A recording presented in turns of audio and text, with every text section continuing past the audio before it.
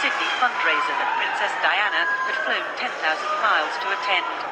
Some 800 guests had paid £500 a head for the privilege of dining with her. In a stunning off-the-shoulder dress, she certainly made a grand entrance.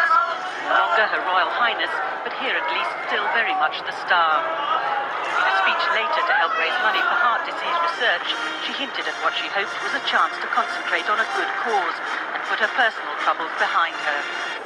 It takes just a brief glance at the television or the newspapers to realise that much of the news is sad news. From international affairs to domestic disputes, there is so much to be concerned about. Tonight we have some good news to celebrate.